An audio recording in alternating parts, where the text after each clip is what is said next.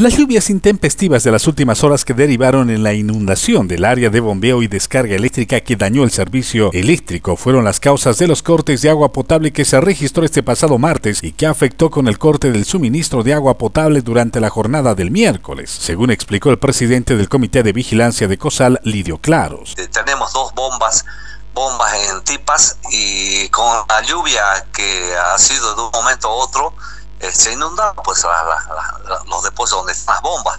¿Qué significa que es que desarma todas las bombas y para que entre en funcionamiento? Eso ha, ha provocado de que no se abastezca de acuerdo a la normalidad que siempre se hacía otro de los problemas que tenemos en la parte eléctrica. El consejero de vigilancia dio a conocer que de manera paulatina el suministro del servicio fue repuesto durante esta jornada, después de que 29 barrios se vieron afectados. Por su parte, el dirigente de FJV, Víctor Acero, dijo que durante esta jornada no hubo múltiples reclamos por la falta de agua potable. Al momento no tenemos denuncias por parte de los vecinos en cuanto haya habido algún corte de agua o que algunas zonas esté sin el servicio, pero nos imaginamos que lo que dure el mantenimiento, bueno, pues vamos a tener que sufrir.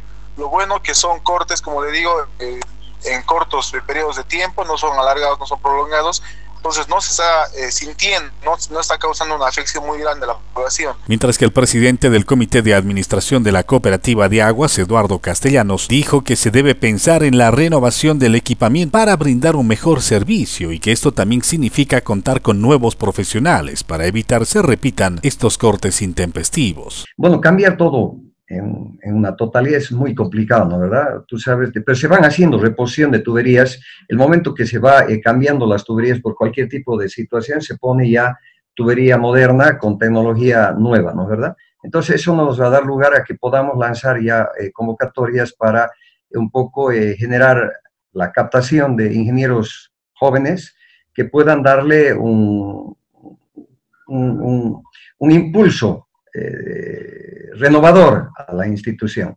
De, de, ninguna manera yo estoy quitándole la capacidad a la gente con la que contamos. Es gente con mucha experiencia que precisamente lo que se está haciendo es de que ellos transmitan esos conocimientos a la gente que viene. Consultado al presidente del Comité de Vigilancia de COSAL, Lidio Claro, si en ambos comités, tanto de Administración y Vigilancia de COSAL, existen profesionales especializados en ingeniería hídrica, reconoció que no, pero que se hace lo posible para sacar a flote de estos problemas eventuales a la cooperativa. Este, tenemos algunos, algunos tropiezos. Sí, efectivamente hay que admitir, falta, ¿no es cierto?